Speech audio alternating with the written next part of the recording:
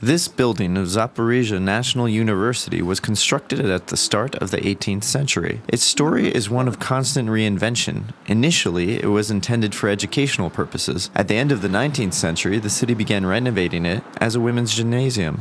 The Minayev brothers took responsibility for the construction. They owned brick and tile making factories. And in 1902 to 1903, this building, in this eclectic style, was put up. The building functioned as a gymnasium for almost 20 years. After that, the building was used for other purposes. It housed the Ural Rifle Division and a military hospital. Since 1926, the building has again been used for education. At first, there was a pedagogical technical school, later, the Pedagogical Institute, and now the Zaporizhia National University.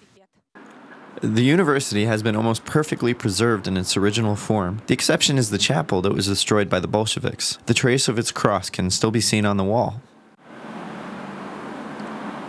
At one time, this was a ballroom, but during the World War, ball gowns and dance music were replaced with cots and medical equipment. Now the room is used for university ceremonies.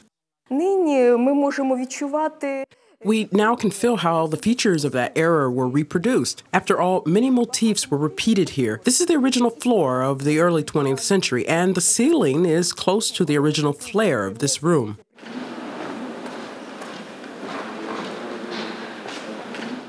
The campus of Zaporizhia University is home to more than one architectural gem. It's the building of the male gymnasium, established in 1910. Unlike many other houses of that period in our city, this building was constructed in the Art Nouveau style. But during the Second World War, the structure was damaged during artillery shelling, and then rebuilt in the style of neoclassicism of the Soviet period.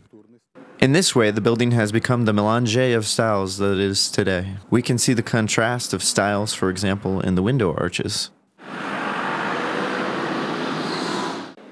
Luckily, the interior survived the artillery fire untouched. Its elegant staircases and wide arched corridors are evidence of this century old architectural monument's true age.